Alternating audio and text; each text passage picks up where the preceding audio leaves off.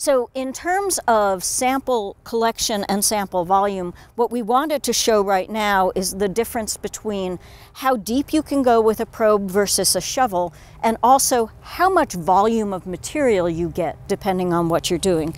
So with a shovel, as Bob is going to demonstrate, it's a little difficult to get extremely deep Typically, this would be used for a soil sample of six inches or so. You can dig down to a foot or more. However, having said that, you're collecting a lot of soil when you do that. So see how he's carefully collecting the soil, separating it out, and then bringing his soil sampling container and putting some of the soil, but not that whole shovelful into the container.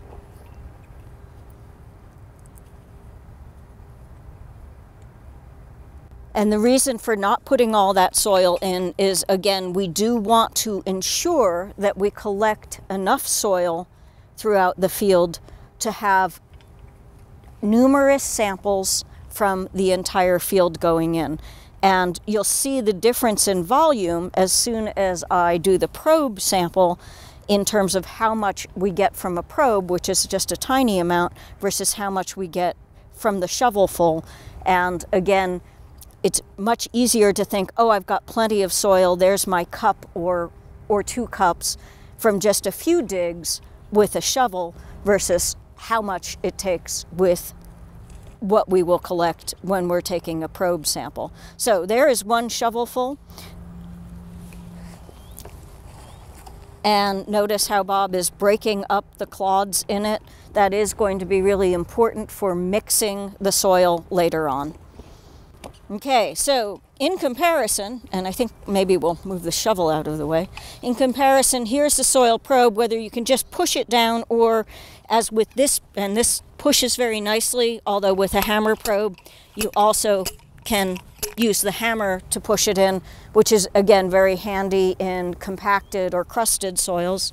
Then I've got it taken down to a one foot measurement you'll notice that the soil itself doesn't look like it's going to that one foot measurement. In part, that's because this practice actually compacts the soil sample a little bit. So here is the mark for one foot, and here is actually how much soil we collected. So we know our bottom depth was at one foot, but we can't, we don't see, it doesn't look like a whole foot we just have to trust the measurements. So we're going to put this in the other container. And notice, notice unlike with the shovel, we will use the entire portion. If this is one sampling point, notice how much sample we got from the probe versus how much sample we got from the shovel. Okay? So the probe sample is a much, much smaller volume than the shovel sample.